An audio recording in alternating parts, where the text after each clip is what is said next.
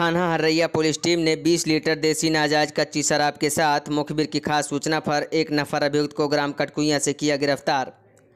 बलरामपुर जनपद के पुलिस अधीक्षक राजेश कुमार सक्सेना द्वारा अपराधियों में अपराधियों पर अंकुश लगाए जाने के लिए चलाए जा रहे अभियान के क्रम में अपर पुलिस अधीक्षक बलरामपुर, नम्रता श्रीवास्तव व क्षेत्राधिकारी ललिया राधा रमन सिंह के पर्यवेक्षण में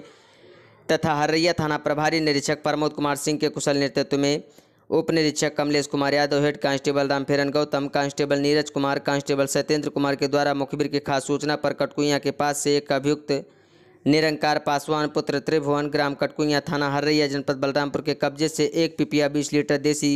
कच्ची शराब के साथ गिरफ़्तार कर मुकदमा अपराध संख्या इकहत्तर बटे बाईस धारा साठ ब्रेकट वन आबकारी अधिनियम का अभियोग पंजीकृत किया गया।